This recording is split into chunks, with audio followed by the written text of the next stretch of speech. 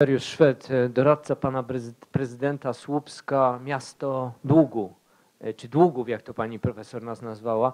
Ja pozwoliłem sobie przed e, debatą, przygotowując się, wpisać encyklika Laudato Si do Google'a. I proszę państwa, w polskim Google'u wychodzi jako pierwszy wynik taki. Portal PH24 Polonia Christiania artykuł. Kim są ludzie, które, którzy doradzali papieżowi podczas pisania encykliki Laudato Si? Jednym z doradców Franciszka, który pomagał mu przygotować encyklikę Laudato Si, jest dobrze znany w Polsce ekonomista Jeffrey Sachs. Sachs to zwolennik aborcji i polityki kontroli urodzeń. Ostatnio był on jednym z prelegentów biorącym udział w watykańskiej konferencji na temat zmian klimatycznych. E, Ja pozwoliłem sobie ten może nowy wątek e, wprowadzić. Wprawdzie pani profesor jak zwykle ekologię wplotła w, des, w debatę społeczno-ekonomiczną i bardzo się cieszę i, i, i to jest myślę rzecz kluczowa.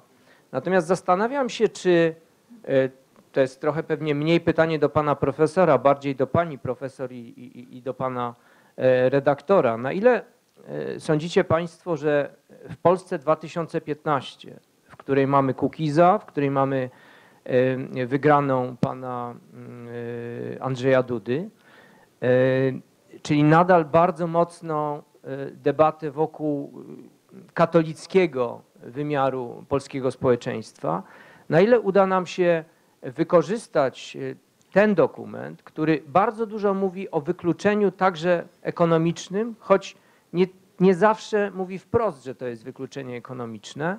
Mówi o wykluczeniu właśnie klimatycznym, ekologicznym i, i tych aspektach e, globalnej, globalnych wyzwań ekologicznych.